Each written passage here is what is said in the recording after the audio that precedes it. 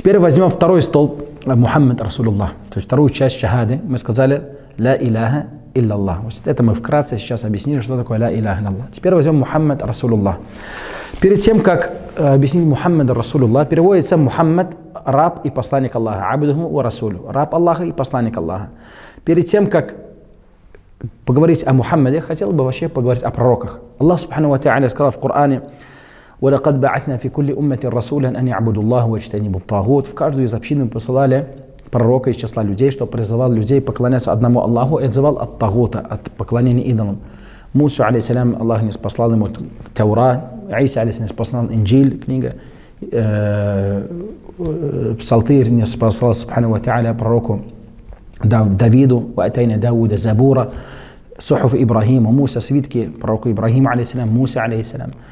Коран не спасла пророку Мухаммаду, саллаху алейхи вассалям. В каждую из общин Аллах посылал посланника из числа людей, чтобы призывали людей, призывали людей поклоняться одному Аллаху. Но ну, в каждой из общин был свой шариат. То есть, так скажем, молитвенная практика, как правильно молиться, как правильно поклоняться Всевышнему Аллаху. Про иудеи по-своему молились, но одному Богу. Христиане по-своему молились одному Богу. Э, там другие 124 э, тысячи пророков было, из них 313 посланников. Каждого Аллах Субхану послал с одной миссии, поклоняясь одному Аллаху. Но Всевышний сказал, «Ликулли минхум джа'альна шири'ата ва минхаджа». Каждый для, из них, то есть из, из пророков, мы сделали свой шариат. То есть свою именно, так скажем, молитвенную практику, как поклоняться Всевышнему Субхану Ва Та'аля. Также Всевышний сказал, «Инна Аллаха ястафи, Аллаху ястафи мин аль-малаикати русула ва мин нас Инна Аллаха сами'ан басир. Поистине Всевышний Аллах избирает, выбирает из ангелов посланников и из людей. И Всевышний Аллах, субханаху ва та'аля, все слышащий э, и все видящий, субханаху ва та'аля. Когда мы говорим Мухаммад Расулуллах, тут тоже есть два столпа. То есть, когда говорили про Ла Иляха Аллах, сказали два столпа. Нафи отрицать всех богов и подтверждать одного Аллаха. Когда говорим Мухаммад Расулуллах, тут тоже есть два столпа. Аль-Абд вар Расуль. Раб и посланник. Раб и посланник. Поэтому Всевышний Субхану Ва говорит в Коране, в Сурат Аль-Каф, которую мы, мусульмане, каждую пятницу читают, и в последнем аяте Всевышний Субхану Ва в суре пещеры сказал, قل إنني أنا بشر مثلكم يوحى إلي قل скажи Мухаммад إنني أنا بشر مثلكم поистине я такой же человек, как и вы юха илей, мне дано откровение. То есть Мухаммад, саллаллаху алейхи аль-башар, он раб Аллаха, он человек, он расуль, и он посланник. Вот это два столпа. То, что он человек, и он посланник. И все остальные пророки, они были людьми, и они были посланниками. То есть посланниками от Всевышнего Аллаха, субхану ва. Иса, алейсалям, он раб Аллаха, он посланник Аллаха. Муса, алейсалям, раб Аллаха и, и посланник Аллаха. Дауд, алейсалям, раб Аллаха, посланник Аллаха. Ибрахима, алейсалям, и так далее. Сулейман, алейсалям, раб и пророк. Что такое раб? Раб, значит, он тоже поклонялся Аллаху. Он тоже поклонялся Всевышнему Аллаху, не, субханаху ва То есть он не объект поклонения, он не Бог, он не идол, он раб Аллаха. Поэтому Пророк Мухаммад, описывая пророка Мухаммада в Коране, Всевышний сказал, «Кана якулю та'ам, ва ямши фил асвак». Мухаммад, саллаху алейхи кушал еду, ходил по рынку. То есть человек нуждается в еде. И нуждается в том, чтобы пойти на рынок, что-то купить, что-то продать, бытовые какие-то дела есть. Также описывая Аису, алейхиссалям, и Марьям, Иисуса и Марию, Всевышний Субхану Ва сказал, «Кана якуляни та'ам». Они оба применяли пищу, кушали. Опять же, Субханаллах, когда человек кушает, субханаллах, то, что поступает в его организм, оно должно каким-то путем выйти из него, из организма. И вот этот человек, который после того, как кушает, из него эта еда выходит, невозможно его назвать Богом или объектом для поклонения. Он раб Аллаха, и он посланник Аллаха. Он раб Аллаха Муса, алейсалям, Иса, алейсалям, Мухаммад, саллаху алейсалям, и посланник Аллаха. И когда мы читаем с вами намаз, когда дойдем до раздела, иншаллах, саля тоже, возьмем столб саля, второй столб религии. Мы сказали первый, ля иляха Мухаммад Расулла, второй столб ассаля, намаз, молитва пятикратная. Когда мы читаем, сидим на ташахуде и говорим «Ашхаду алла иляха иллаллах, wa ашхаду анна Мухаммадан абдуху ва расулуху». Мы свидетельствуем, что нету иного Господа достойного поклонения, кроме как Аллаха, Субхану ва И то, что Мухаммад раб Абдуху, ва Расул раб Аллаха и посланник Аллаха. В хадисе, который приводит Анас бин Малик, радаллаху анху, Анас бин Малик это самый последний сподвижник, который умер. Кто такой сподвижник? Мен Наби, саллаллаху алейhi мумина бихи, фамати аля ислам. Это тот, кто увидел пророка Мухаммада, саллаллаху алейhi будучи верующий в него, мусульманином, и умер на исламе. То есть были такие люди, которые жили при пророке Мухаммаде, но не уверовали. А после смерти посланника Аллаха во времена правления Абу Бакра уверовали. Они не являются, хотя видели пророка Мухаммада, но не были мусульманами на тот период, на тот момент. Они не являются сахабами, не являются сподвижниками. Или были такие люди, которые не видели, но жили в одно время вместе с пророком Мухаммадом, Например, возьмем как Уэйсель Карни, который жил в Йемене. Он уверовал, но однако он не смог пере, пере, приехать в Медину, увидеть посланника Аллаха, саллаху алейхи вассалям, потому что его мама болела. И он только приехал в Медину, когда уже после смерти посланника Аллаха, саллаху алейхи Но он не видел, он уверовал во времена посланника Аллаха, но не увидел его. Он не является сподвижником, он не является сахабом. И Пророк Мухаммад, саллаллаху алейхи вассалям, последний сподвижник, который умер, который видел посланника Аллаха, саллаху алейхи и умер на исламе, это Анас бин Малик. Анас ибн Малик, самый последний сподвижник, который умер. Он передает хадис. Он был всегда рядом с пророком Мухаммадом, саллаху алейхи вассалям, когда он сделал переселение пророка Мухаммада, саллаху алейхи вассалям, из Мекки в Медину. Был с ним вместе Абу Бакр, радаллаху анху.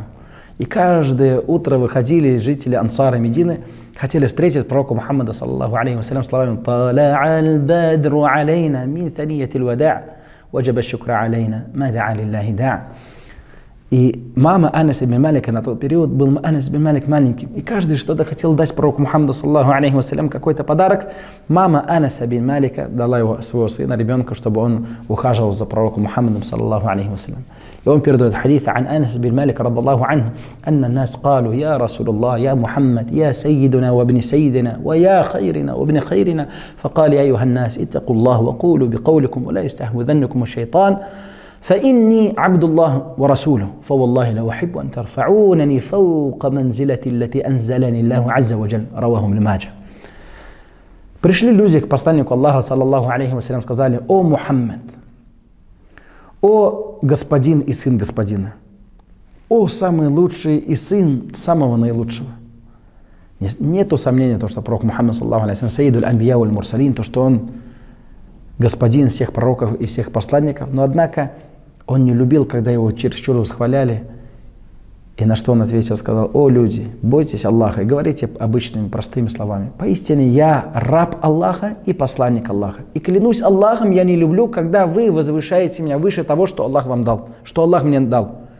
То есть самое любимое было слышать пророку Мухаммаду, то, что он раб и то, что он посланник. Раб, мы сказали, то, что человек, который поклоняется Аллаху, а посланник. Что такое посланник? Это тот, который доносил религию от Аллаха до людей, до нас. И каждого пророка Аллах послал к своему народу, кроме пророка Мухаммада, саллаллаху алейхи послал ко всем людям. Ко всем людям. И после пророка Мухаммада, саллаллаху алейхи больше не будет другого посланника. Пророк Мухаммад, саллаллаху алейхи сказал, «Ля набия ба'ди» – нету пророка после меня. Ему было дано откровение, Коран – это называется вахи ташри'и. Вахи ташри'и, то есть через ангела Джабраиля приходили ему аяты. И Всевышний Субхану Ва Та'аля сказал в Коране, описывая пророка Мухаммада, саллаху алейхи вассалям, «Вама янтику анил хава». وما ينطق عن الهوى إن هو إلا وحي يوحى سورة النجم Всевышний сказал Поистине Мухаммад от себя ничего не сказал, о своих страстей ничего не сказал. Каждое сказанное слово им – это было откровение от Всевышнего Аллаха, субханаху ва та'аля. Пророк Мухаммад, саллаллаху алейхи вассалям, когда ему было, пришло пророчество, когда он стал посланником, когда он стал пророком, ему стал, было 40 лет. 23 года он был пророком и умер в возрасте 63 года.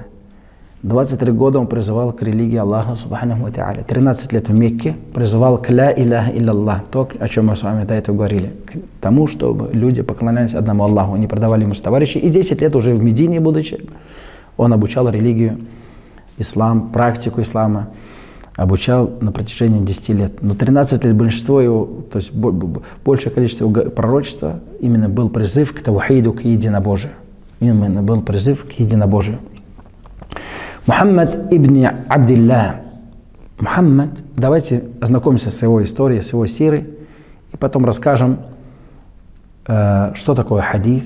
Мы часто слышим хадис, аят и хадис. Хадис это, как высказывание пророка Мухаммада, саллаху что такое сунна, что такое пророк, что такое посланник, какая разница между пророком и посланником.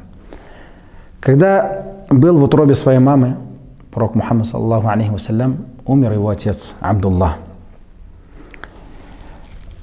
Его отец Абдулла занимался торговлей и страны Ишама, когда он возвращался, умер неподалеку от города Медины, устал и умер. Когда ему исполнилось 6 лет, мама его взяла за руку и повела в Медину, дабы познакомиться со своими дядями. Пророк Мухаммад, саллаллаху алейхи вассалям, пришел, увидел своих дядей, и потом они посетили могилу его отца. Его мама взяла его за руку и сказала, «Хада кабру абик». Это могила твоего отца. То есть, субханаллах, он никогда не видел своего отца и увидел могилу своего отца.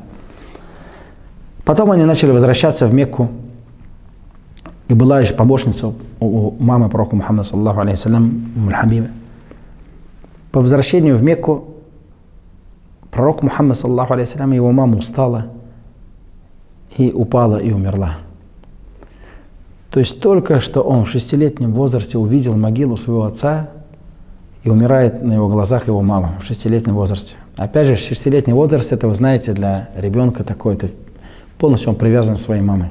Бывает, когда, например, даже вот мужчины, например, часто бывает на работе, наши дети с нашими супругами чаще всего проводят время, то есть они к ним привязаны. А тут у, у, ребенка, которого отца своего не видел вообще, никого нет, кроме мамы, умирает мама. Они ее похоронили, и когда похоронили, уже наступило целый день, копали могилу, я взяла помощницу его мамы за руку, пойдем, сынок, вернемся в Мекку. Он еще не понял, сказал, умми, умми, мы забыли маму, мы забыли маму. Они уже ее похоронили там. Я возвращаюсь в Мекку. Вернувшись в Мекку, постучали в дом его дедушки Абдуль-Мутталиба. Когда он открыл дверь, спросил, Айна уммук, где мы твоя мама? И он заплакал, и тогда он понял, что его мама умерла, взял его, прижал к себе и сказал, иди ко мне, мой сыночек. И воспитал его как своего ребенка, его дедушка. Только он привыкает к дедушке, забыл, то есть играет, то есть ребенок, только ему исполнилось 8 лет, и умирает его дедушка Абдуль-Мутталиб. Таким образом, он сиротой, пророк Мухаммад, саллаху алейсалям, передается из рук в руки. Забирает его на воспитание его дядя Абу Талиб. Он его заменил ему и дедушку, и маму, и папу. Женил его на Хадиджа, радаллаху анха. Аллах Субхану дал пророку Мухаммаду, саллаху подарил семерых детей – Аль-Касим, Абдулла, Ибрахим, Умму Кульсум, Зайнаб, Рукайя, Фатима. Всех своих детей пророк Мухаммад, саллаху алейхиссалям, похоронил при жизни. Всех своих детей пророк Мухаммад, саллаху алейхиссалям, похоронил при жизни, кроме Фатимы. Она умерла после него. И когда пророк Мухаммад, саллаху алейхи вассалям, был амль хузн, был год скорби, когда в этот год умерла его супруга Хадиджа и его дядя Абу Талиб. И этот дядя Абу Талиб, который любил сильно пророк Мухаммад, саллаху алейхи который заменил ему семью, когда он умирал, он видел, он защищал его от врагов и был для него сильнейшей поддержкой. Но несмотря на все это, он видел, он видел, как принимал ислам Абу Бакр, Умар, другие сподвижники, как не спосылались аяты, слышал, но Аллах не раскрыл ему сердце, его дяде Абу Талибу. И перед смертью пророк Мухаммад, саллаху алейхи говорит, «Я амми, куль ла илляха иллаллах, шфа'у лака яум аль-кияма». О, дядя, скажи только одно слово, «Ла илляха иллаллах», я буду за тебя заступником в судный день. С другой стороны, курайшиты, которые язычники говорят, «Я Аба Талиб, ататруду ан миллати Абдуль Мутталиб, фаиннаху кана ябуду аснам». О, Абу Талиб, ты хочешь оставить путь Абдуль Мутталиба? Он поклонялся идолам. И так, не сказав «Ля иляха иллаллах», умирает дядя пророка Мухаммада, саллаху алейхи вассалям. То есть тот человек, который заменил ему папу, маму, вырастил его, женил его, который был, защищал его, он не принял ислам, не сказал «Ля иляха иллаллах». И тогда пророк Мухаммад, саллаху заплакал. То есть знал, что, все, в судный день, йом фирак, будет вечная разлука. Аллах в Коране говорит, «Вайома такуму саа, йома идhin ятафарракун». Когда наступит судный день, тогда люди разделятся.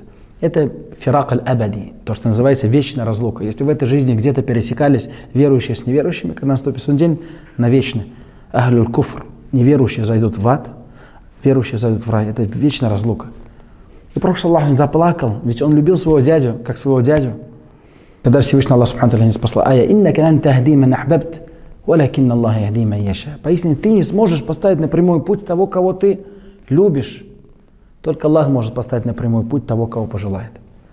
То есть тем самым Аллах Субхану Ва показал, даже ты, Мухаммад, не можешь поставить на калимат таухид, на единобожие, на славу единобожие того, кого ты любишь, своего дядю. Только Аллах раскрывает сердца тому, кому он пожелает. Поэтому, когда человек говорит, я сколько его призывал, не смог его поставить, кто мы такие, чтобы людей ставить на религию? Мы только должны, как Аллах в Коране говорит, «Ма алейка илля аль на тебе только донести. Wallahu яхди ма яша, ва юдиллю ма Кого Аллах пожелает, того поставить на прямой путь. Кого Аллах пожелает, того заблудит.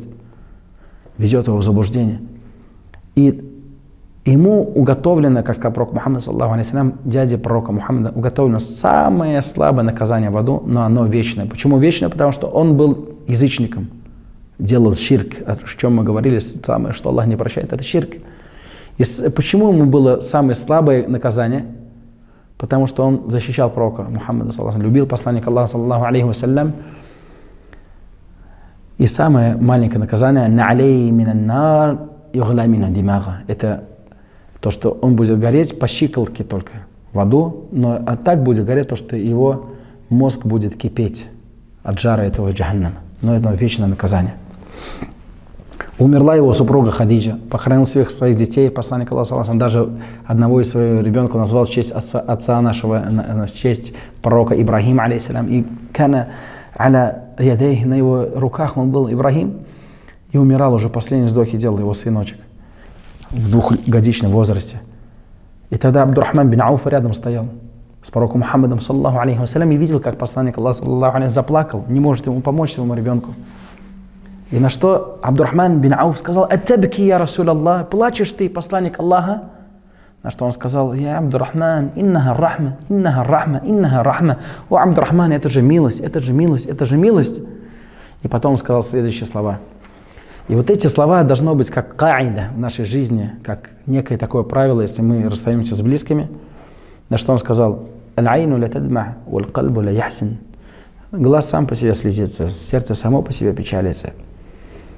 «Валя накулю илля ма раббана». И мы говорим только те слова, которым доволен наш Господь.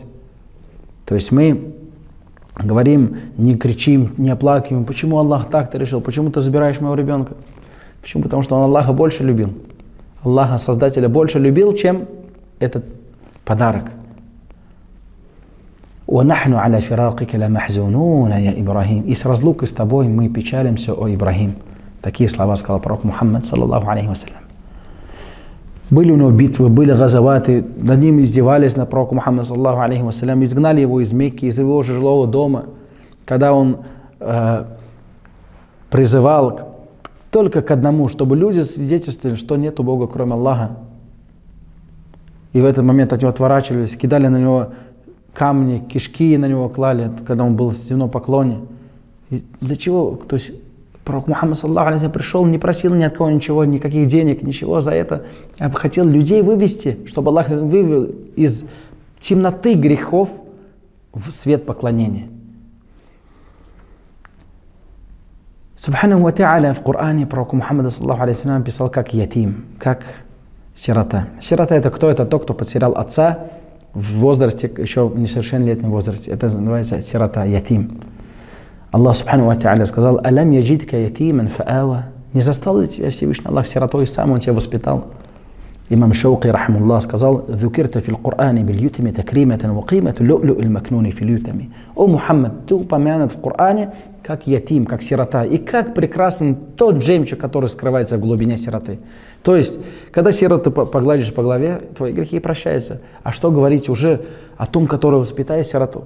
Пророк Мухаммад, саллаху алейхи сказал, «Ана ва кафиль اليتيم في الجنة كهاتين وأشار إلى السبابة والوسطى. Я и тот, кто воспитал сироту, со мной будет на таком расстоянии в раю. И указал на указательный палец и на средний. То есть рядом со мной будет в раю, сказал пророк Мухаммад, саллаллаху алейхи вассалям. И пророк Мухаммад, саллаллаху алейхи вассалям, сказал, «Валлади нафси бияди, لا يؤمن أحدكم حتى أكون أحب إليه من والده ووالده والناس أجمعين». Пророк Мухаммад, саллаллаху алейхи вассалям, сказал, Клянусь тем, в чьих руках моя душа. То есть клянусь Аллахом, Субхану Ва ни один из вас полностью не уверует до тех пор, пока я не стану любимее по отношению к нему, чем его дети, или его родители, или все остальные другие люди. Поэтому верующий человек после Всевышнего Аллаха Субхану Ва должен любить пророка Мухаммада, саллаллаху алейхи вассалям. А как проявляется любовь к пророку Мухаммаду, саллаллаху алейхи вассалям? В иттибаа суннати. В том, чтобы мы следовали за его сунной, следовали за ним.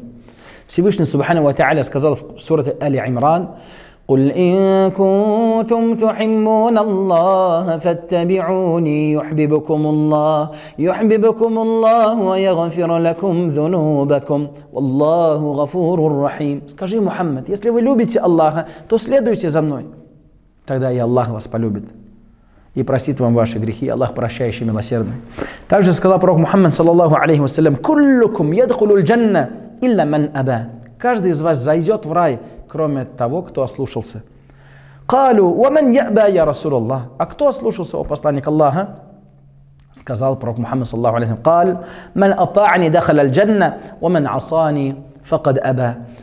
То, кто подчинился мне, он зайдет в рай. А то, кто ослушался меня, тот Аба, тот, тот человек, который отвернулся, который от, отвернулся, ослушался меня, то есть он не зайдет в рай, сказал пророк Мухаммад, саллаллаху алейхи вассалям. Пророк Мухаммад, он был пророком и он был посланником. Пророком и посланником. Какая разница между пророком и посланником? Мы сказали, что было 124 тысячи пророков, из них было 313 посланников. Разница между пророком и посланником. Есть такое правило, уважаемые братья и сестры, которое поможет нам запомнить. Куллю расулин наби, валейса куллю наби расуль. Каждый посланник является пророком. Каждый посланник является пророком, но не каждый пророк является посланником. То есть пророк, посланник, посланник – это тот человек, которого Аллах послал, дал ему рисаля, дал ему, дал, не послал ему книгу, не послал ему шариат, тот, э, который был мукаллаф именно в которому Аллах повелел призывать людей.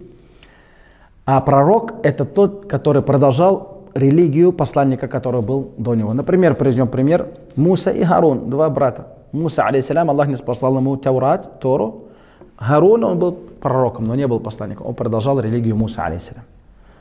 Есть улюль азми минар русуль, пять, которые обладательницы реши, реши, решительности, обладатели решительности. О них отдельно Аллах рассказал. Самый лучший из посланников – это Нух, алейсалям, первый посланник. То есть Адам, алейхиссалям, он был пророком, но не был посланником. Нух, алейхиссалям, Ибрахим, алейхиссалям, Муса, Иса и Мухаммад, саллаллаху алейхи вассалям.